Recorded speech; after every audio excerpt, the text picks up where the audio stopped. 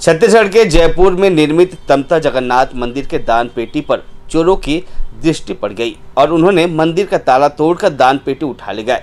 सामुदायिक केंद्र पंचायत भवन के बाद एक पखवाड़े के अंदर यह तीसरी चोरी की बड़ी घटना है। पुलिस ने मामला दर्ज कर जाँच कार्रवाई शुरू कर दी है। हाँ?